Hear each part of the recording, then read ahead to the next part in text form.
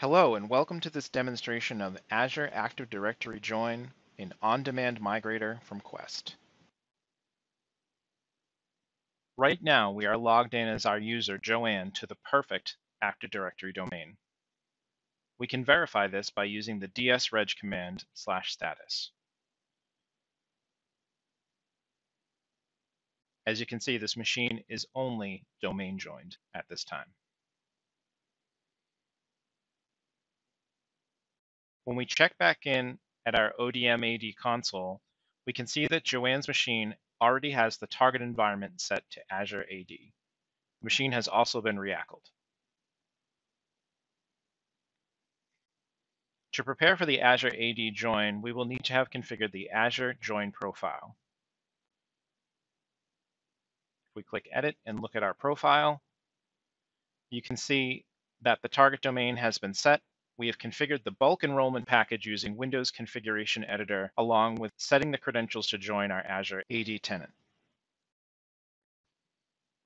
When we go to the hamburger menu and select Configurations and Repositories, we can see that the Azure Bulk Enrollment download location has been set as well.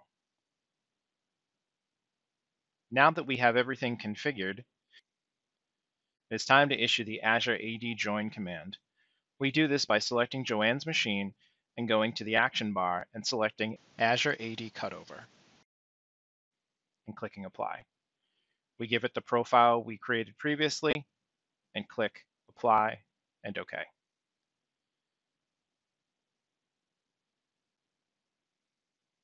We can now see that the Azure cutover status has been queued. As we check in with Joanne's machine, we see that there is a prompt to let the user know that they're going to be signed out and the machine is going to be rebooted.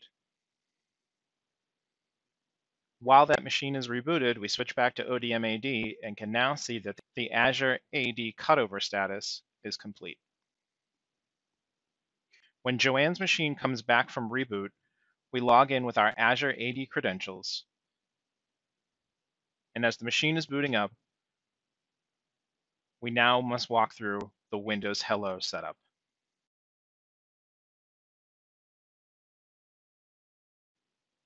The user may be asked to authenticate using the Windows Authenticator app or SMS access code. In addition, the user will need to set up a login PIN as well.